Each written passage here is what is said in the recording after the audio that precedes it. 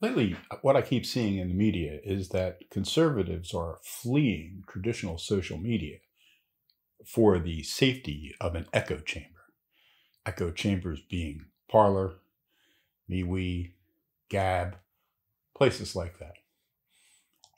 This is total BS. It's total BS for two basic reasons. The first is most people, and I'm one of them, who are moving to these alternate social media sites aren't leaving the old ones, at least right away.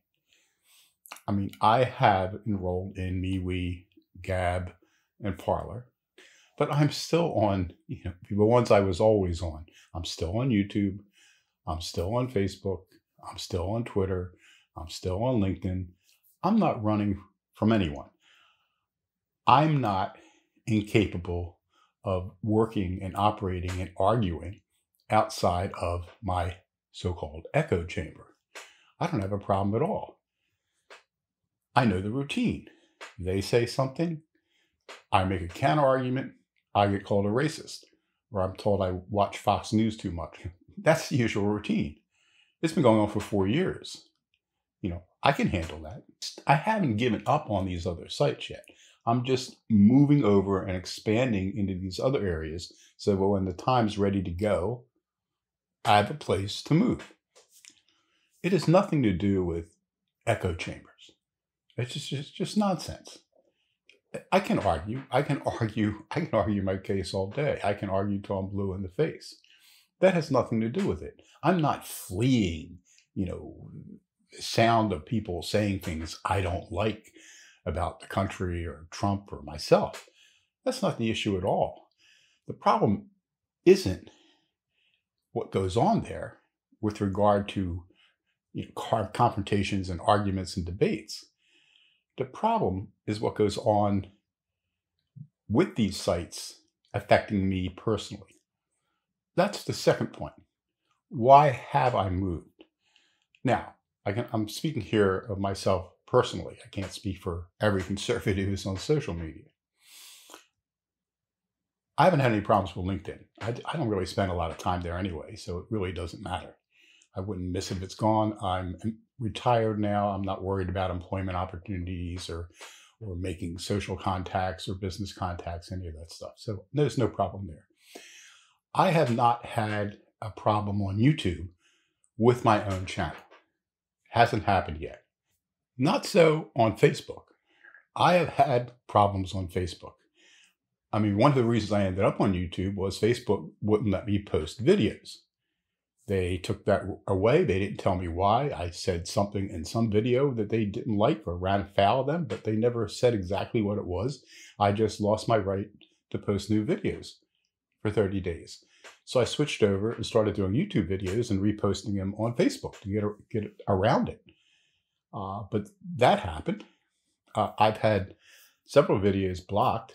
Uh, one time, I think I had 12 in one day disappeared.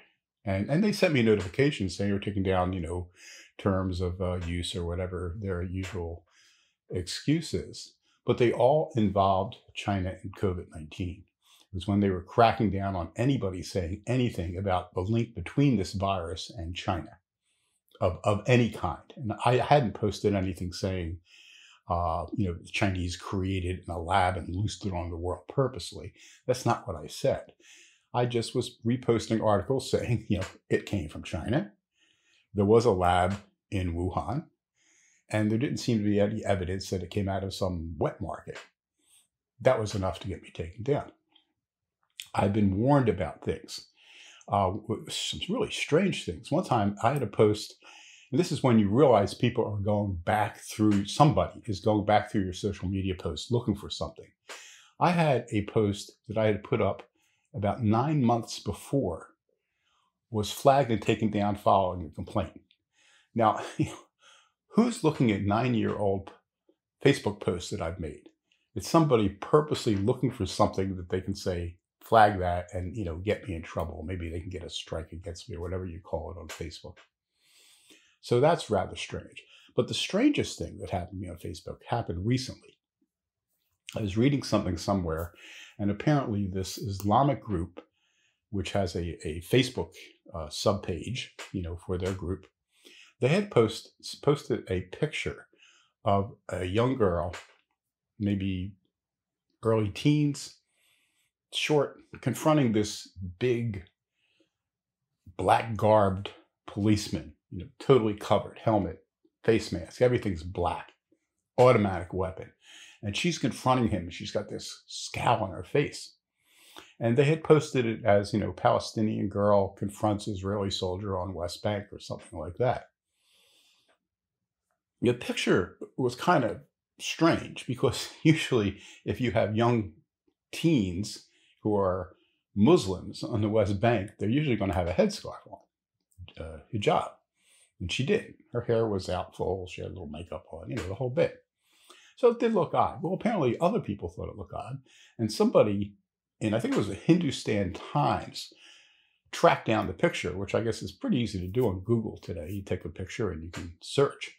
And they found that it was actually a, a several year old photo of a confrontation in Argentina between a young Argentinian woman and an Argentinian cop or special, you know, SWAT kind of cop. And this Muslim group had posted it as something that happened on the West Bank in 2020. I think it was like 2017 or 2016, something like that. So the Hindustan Times had broken the story that this group was, you know, publishing fake news.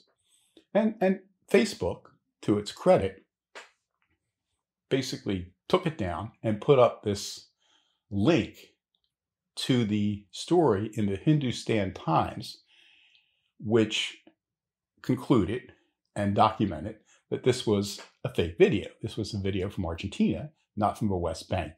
And it was a video from several years ago, not this year. So that was interesting. So I went to that site. I found the Facebook link to the Hindustan Times. I clicked on the link. It took me to the Hindustan Times article. And then I reposted it on Facebook with this note about what had happened. Facebook's response to that was to flag my post and take it down and sent me a notification that I was guilty of hate speech. I was guilty of hate speech. For doing what? For reposting the article that they had posted on their response to this uh, Muslim website, a Palestinian website. I hadn't done anything that they hadn't done themselves. And yet, you know, bingo, if I don't agree that it gets taken down, I won't be able to do anything on my account until I agree. So I agreed and I sent them a you know nasty email. I didn't even get a response. So that's the kind of thing that happens to me on Facebook. They sent me a list a couple weeks ago uh, to what point I don't know, but it was a list of the last six months they had they had flagged or taken down or blocked 36 of my Facebook posts. I mean, I hadn't been keeping count. And then they linked that to a policy. And when I went to that policy, it was if you have too many things taken down, they can suspend your account. They can cancel your account. They can ban you from Facebook forever. Now, they didn't actually threaten to do any of those things directly, but the implications were pretty clear that for somehow they were they had their eye on me at least their algorithms had their eye on me. Not that i'm that big. I think i have like 600 600 friends on facebook but that they were doing stuff to me. So that's when i started thinking you know i if i'm going to lose this account i better start moving somewhere else so i can post there because i don't know how much longer you know, what's going to happen the next time I post something that they don't like on Facebook. Twitter's an entirely different story. And I've had problems over the last two years on Twitter. Now, I don't have, you know, hundreds of thousands of followers. I don't even, I almost got 10,000 once. But I guess the average, I forget how many followers is the average, it's in the low hundreds of Twitter. So when you get over 5,000, I guess you're doing above average. And so I guess my count is above average. And I had no problem until I got up about two years ago. I got up to 75, uh, it's like 74 and change followers on Twitter. And I was just going up, you know, I was spending roughly the same amount of time every day and tweeting and retweeting and posting some stuff.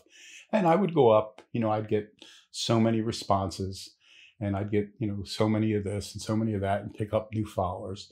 And I was going up and up and up. As soon as I got close to 7,500, all of a sudden I'm not getting any responses, no retweets, no new followers. You know, I'd get maybe one or two a day, and I will lose clumps of followers. One day it was like 230 people suddenly stopped following me. Now I said something, I sent something off, and they said, well, it's, you know, they, they periodically sweep through the accounts and get rid of bogus fake accounts. So I said, okay, well, you know, maybe that's true. After all, this was the first time this had happened. So I went and I looked. Now, you know, most of the accounts that I follow, I don't remember who these people are. They're they're just there. But there were a couple accounts of, you know, people uh, well, I don't want to mention names, but I don't want to. But these, these were notable people, especially in the field of, mid, of the Middle East, whom I followed. And suddenly I realized, because I have a little program I can go in and look, I wasn't following them anymore. And they weren't following me but they hadn't been removed. They hadn't been canceled. They were still there. They weren't, you know, bogus bot accounts that they had closed. They had cut me following them and them following me. And that's how they were getting my numbers down. The other way they started to do it, so I got back up towards 7,500 again. And the next time it wasn't so blatant. Instead of like a mass culling where I lost, you know, several hundred in one day, actually it was one night. You go to bed at night and you're at like 70, seven, uh, 7,453. And you woke up, you know, I woke up, I was like 7,120. Like in one night? You know, how, how does this happen? So the second time I got up near 7,500, the same thing happened, but instead of it happening in a big chunk, I was losing 15 to 25 a day every day, every day. And no matter what I did, I would do the same things. I'd spend the same amount of time on Twitter, uh, posting and reposting and, and doing this and doing that. My followers just kept dropping. And sometimes I, again, I check my little unfollower app that I have, and it would say, you know, you had three people who unfollowed you yesterday. But I looked at the numbers and I've just lost 27 people, 27 followers. Where'd the other 24 go? Who were they? you know, it, it, what's going on here? And then this would go on almost like clockwork 30 days. 30 days it would stop. And I'd start doing my regular thing again. And bang, oh, I go right back up to 7,500. And this time I blew through. And I got up to 9970 something. And at the rate I was going, I thought, I'm going to wake up tomorrow. I'm probably going to be above 10,000. Nope. This was right before the election. I wake up and I'm down. I went, you know, I'm down to like, uh, you know, 98, 80 or something. So I lost all these followers. And I go to my little app and it doesn't show. It says you lost like three followers. But I hadn't gained anybody. And all of a sudden, like instead of waking up and having, you know, 20 uh, comments to to go through if you want to go through them, I'd have two or three, sometimes none. It's like nothing I posted the day before was retweeted or commented upon commented upon by anyone. It was just like the things weren't there. And I'm thinking, I'm shadow banned. But this time it's lasted longer than 30 days. It's still going on. So basically what I've done on my Twitter account is just I, I barely do anything up there. Because no matter what I do, it's just a waste of time. I know that the next morning I'm going to wake up and I'm going to have lost, you know, a score of followers. It's like clockwork, day in, day out. I go to bed at night, wake up the next morning, I'm down, you know, 15 to 30 followers. And that's the way it's been going now for more than 30 days. So this is something that was done to me permanently. And you know, they don't, oh, they don't know anything. They just send you these form things, and there's really no point in complaining because I know what's going on. That's why I got fed up. And that's why I moved to these alternative accounts. It's not that I'm, I'm afraid to debate. I'm afraid, you know, people are going to call me a racist or a fascist. That happens all the time. It doesn't bother me at all. And this is happening you know, while the Republicans are in power. What's going to happen if and when Biden becomes president and these guys, you know, have the run of the house? I don't think it's going to get better. I mean, I know there are some people who think, well, if Biden wins, the pressure will be released because they're in power and they've got what they want. I don't think so at all. I think the pressure is going to increase. I think they're going to be worse. I think there's going to be more censorship, more attempt to shut alternative speech down because once they get power, they don't want to lose it. And the social media giants don't want to lose their power. So that's why, you know, speaking here for myself, that's why I moved. It has nothing to do with echo chambers. It has everything to do with censorship. I'm not moving, I am fleeing. I'm like a, a social media refugee, you know, getting dual citizenship so that when the time comes, I can pack my bags and go to a new country, which is basically how I see it. That's my story. You have one of your own? Let me know in a comment. If you can, share this video with your friends. Give it a thumbs up if you liked it, thumbs down if you didn't. Hit the notification button so you know when I post new videos. Uh, subscribe to the channel. Um, maybe if I can get more subscriptions my numbers go up, I can get banned on YouTube as well. Who can say? But whatever. Subscribe to the channel. Help me out here. And until the next time, keep fighting.